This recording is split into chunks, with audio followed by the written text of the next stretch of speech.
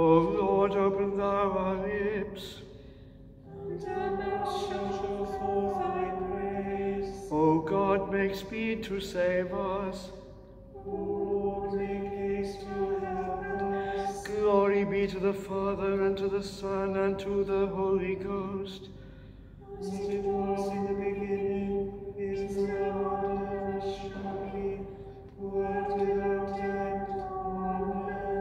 Praise ye the Lord. The Lord's name be praised. A very warm welcome to our service of evensong today from St Mary's, the Collegiate Church of St Mary in the heart of the city of Swansea. So wherever you are, if you're in Wales or anywhere around the world, you are very welcome to join us today. Today, Ash Wednesday, we begin the season of Lent. It's also a day when we remember the people of Ukraine, the people of Russia, in this difficult time, as we pray for them during this service.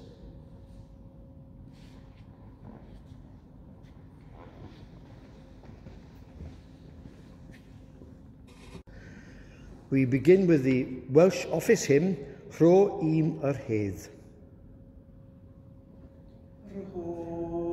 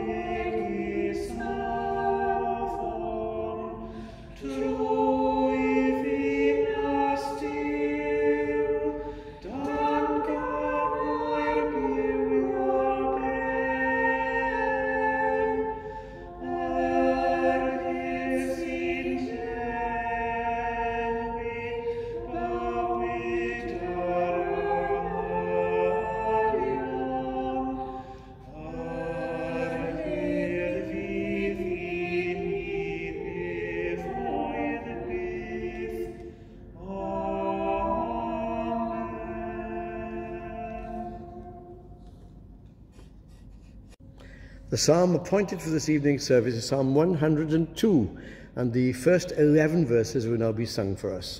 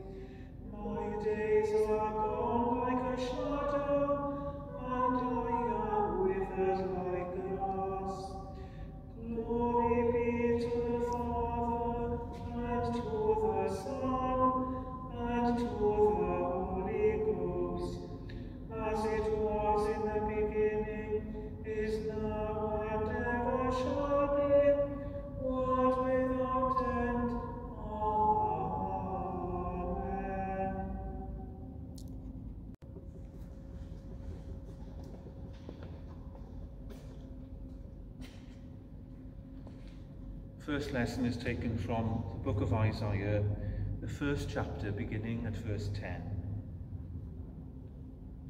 Hear the word of the Lord, you rulers of Sodom. Listen to the teaching of our God, you people of Gomorrah.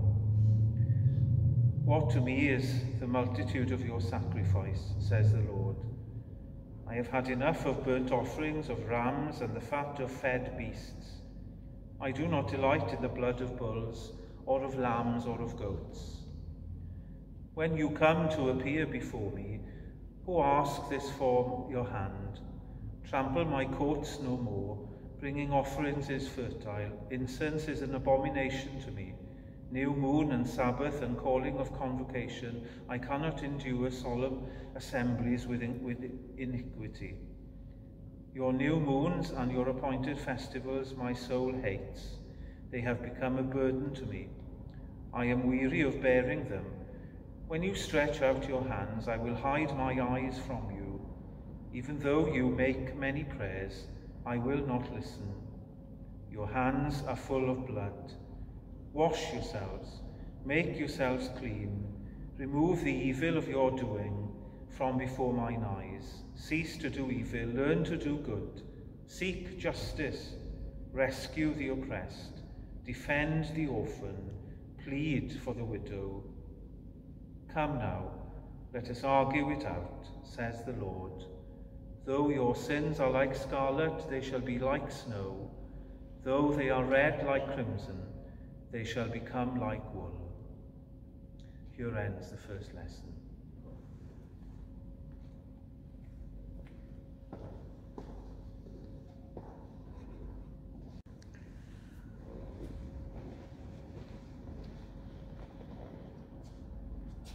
My soul doth magnify the Lord, and my spirit hath rejoiced in God my Saviour.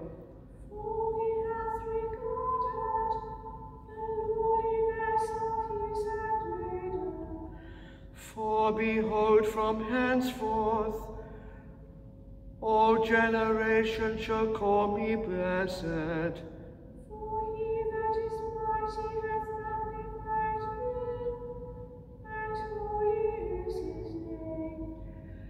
And his mercy is on them that fear him throughout all generations.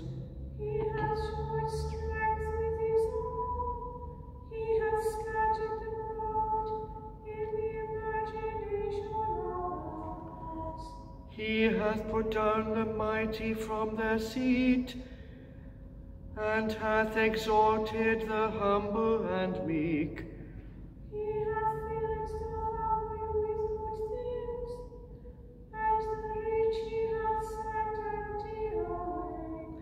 He, remembering his mercy, hath helped his servant Israel. As he promised to our forefathers, Abraham and his seed forever. Glory be to the Father, and to the Son, and to the Holy Ghost.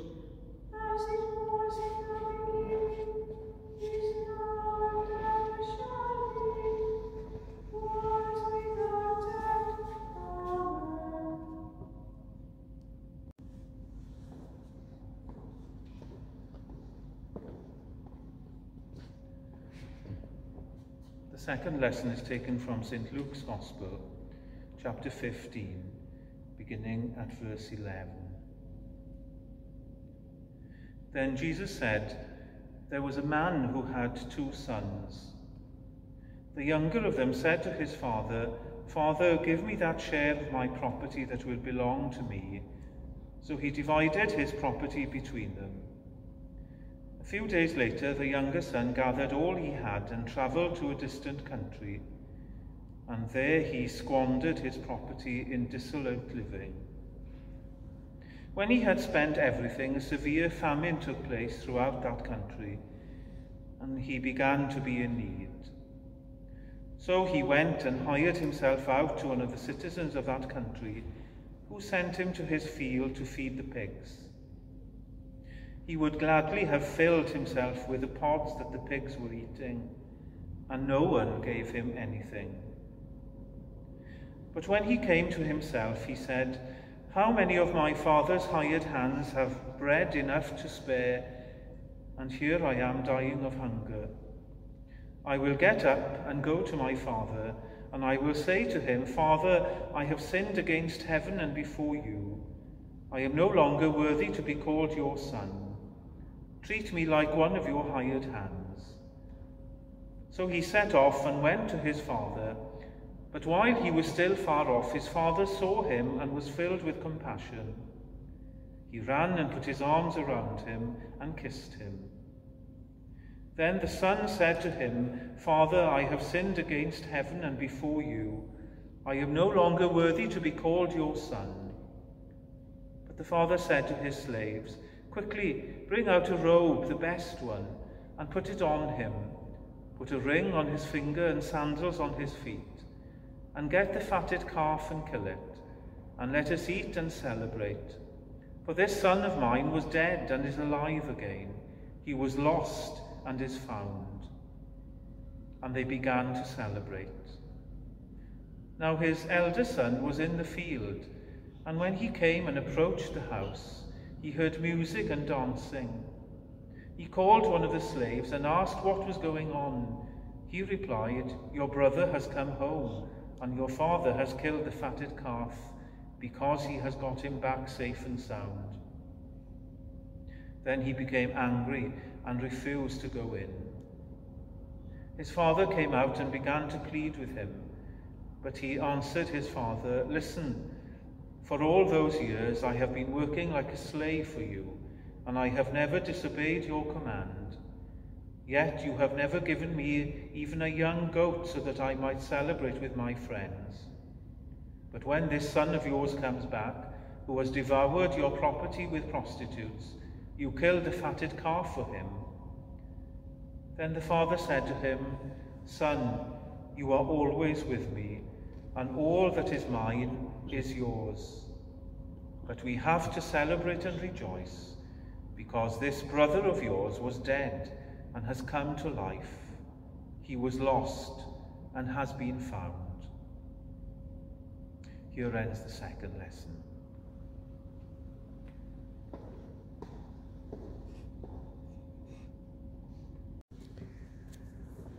Lord, now let us know thy servant depart in peace, according to thy word.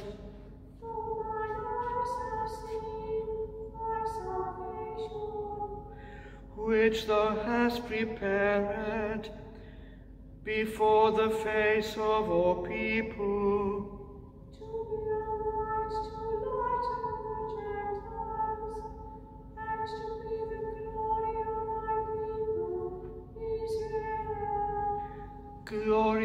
to the Father and to the Son and to the Holy Ghost.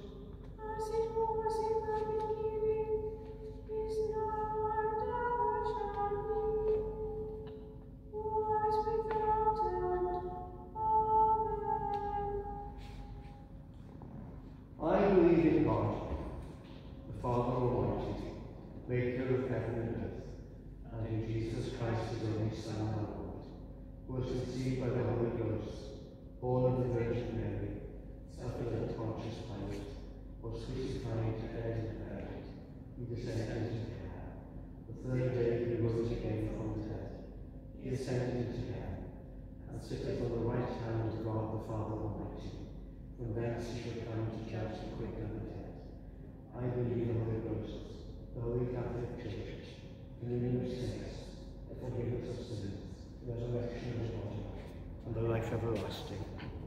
Amen. the Lord be with you. And with thy spirit. Let us pray.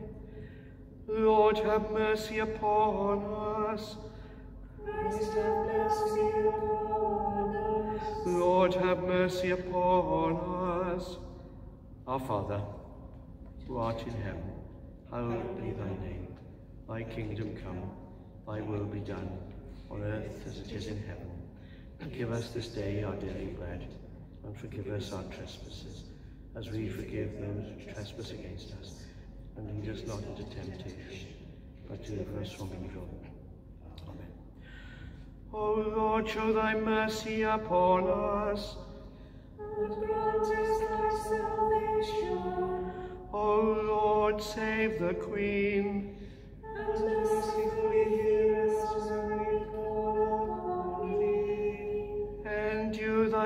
Thy ministers with righteousness.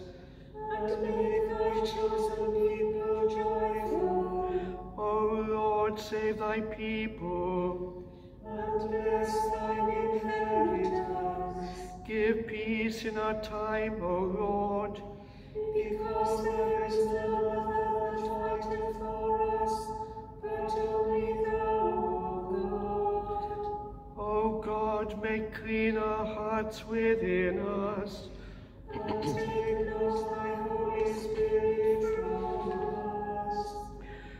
Lord, who for our sake didst fast forty days and forty nights, give us grace to use such abstinence that our flesh being subdued to the Spirit, we may ever obey thy godly motions in righteousness and true holiness, to thy honour and glory, who lives and reigns with the Father and the Holy Spirit, one God, word without end.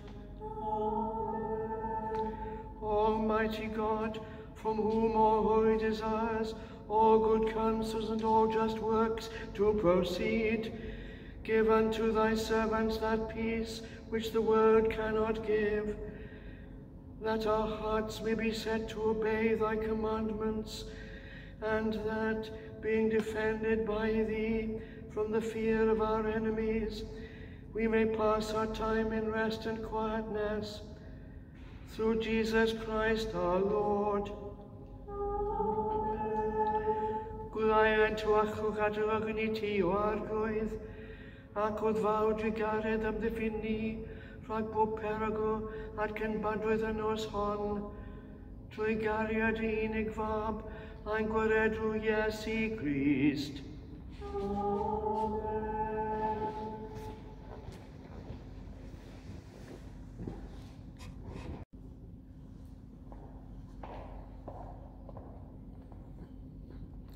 Let us pray. Merciful Lord, we pray for all Christian people that we may be a royal priesthood, a holy nation, to the praise of Jesus Christ our Saviour. Amen. Lord, in your mercy, Hear our hear our prayer. prayer. We pray for Bishop John, particularly this time when he awaits his enthronement. We pray for all bishops and other ministers that they may remain faithful to their calling and rightly proclaim the word of truth. Lord, in your mercy, Hear our prayer. We pray for children and young people and all who are new to faith, that the Lord will guide their growth in him. Lord, in your mercy, Hear our our prayer. prayer. We pray for Elizabeth, our Queen. We pray, pray for the leaders of the nations and all in authority, that your people may lead faithful and peaceful lives. We pray especially for the people of the Ukraine. Lord, in your mercy, Hear our hear our prayer. prayer. We pray for this nation, this parish, and the city of Swansea, for all who live and work here, the poor and the rich, the elderly and the young, men and women, that you will show your mercy to all. Lord, in your mercy, Hear our hear our prayer. prayer. We pray for all who are sick or troubled or in any kind of need, that you would deliver them and keep them in your love. We take a moment to remember those known to us who need our prayers.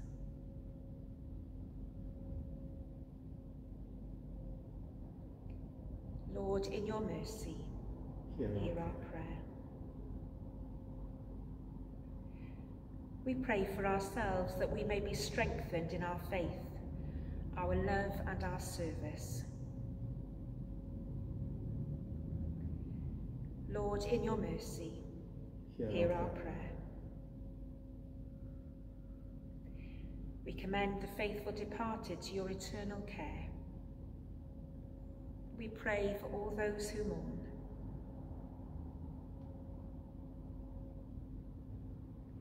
Lord, in your mercy, Hear our prayer. prayer.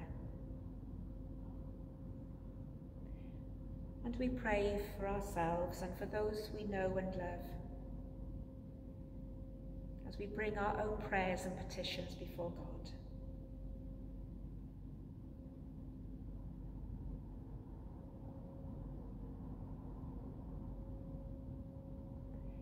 Lord, in your mercy, hear our prayer. We commend ourselves and one another and our whole life to you, Lord God, through Jesus Christ our Saviour. Amen. Amen.